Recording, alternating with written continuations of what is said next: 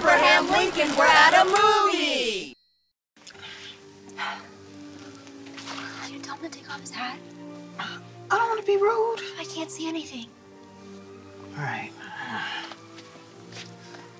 Yo, excuse me, man. Uh, could you please take off your hat? We can't see anything back here. Yes, I am so sorry. Oh, thank you. Thank you.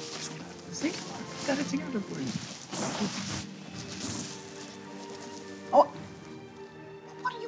Do you want me to do? Tell him to take off his hair?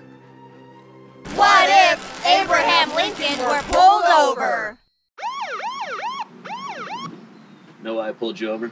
Yes, I was going 90 in a school zone. Wow, that's uh, incredibly honest of you, Mr. President. I also drove home drunk last night. I've committed more than 20 hit and runs, and in my glove compartment is an unregistered musket. Just stop! You're only hurting yourself! I cannot tell a lie! That's a George Washington quote! You get the point. What if Abraham Lincoln were a lamp? Good night, babe. Good night. Good night, guys. Good night, Abe. What if Abraham Lincoln were on spring break? Bruh, you're supposed to put that on your skin.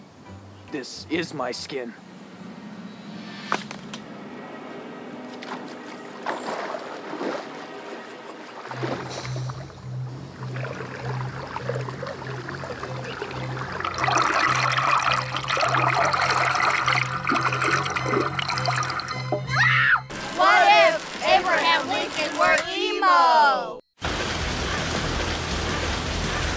You know it's not free.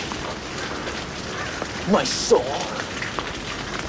What if Abraham Lincoln were thick?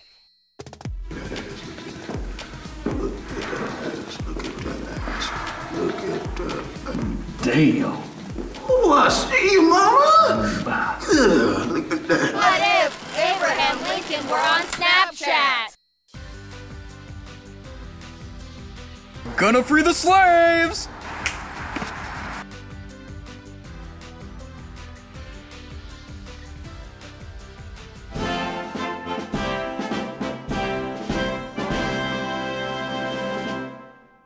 Hey guys, thank you so much for watching The Big What If. If you enjoyed the video, make sure to like and subscribe. Also, make sure to like and subscribe to yourself with a little pat on your back.